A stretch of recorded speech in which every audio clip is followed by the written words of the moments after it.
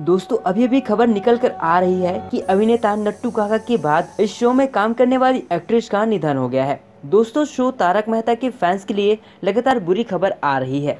जी हाँ दोस्तों, हम बात कर रहे हैं तारक मेहता शो के एपिसोड नंबर 2180 में रत्नावली का किरदार अदा करने वाली एक्ट्रेस मनीषा यादव के बारे में। दोस्तों, अभिनेत्री मनीषा यादव का ब्रेन हैमरेज की वजह से 1 अक्टूबर को मात्र 29 साल की उम्र में निधन हो गया है।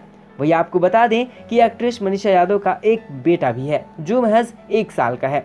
दोस्तों, तारक मेहता के अलावा एक्ट्रेस को आपने सीरियल जोधा अकबर में भी सलीमा बेगम के किरदार में देखा ही होगा। दोस्तों, टीवी इंडस्ट्री के कलाकारों का इस तरह से दुनिया से एक के बाद एक चले जाना हम सभी फैंस के लिए काफ़ी दुखद है। वेल well, दोस्तों हम और आप सभी एक्ट्रेस मनीषा यादव को उनकी आत्मा की शांति के लिए श्रद्धांजलि अर्पित करते हैं। दोस्तों आज के अपडेट में बस इतना ही। मिलते हैं कुछ और नए खबरों के साथ। तब तक के लिए धन्यवाद।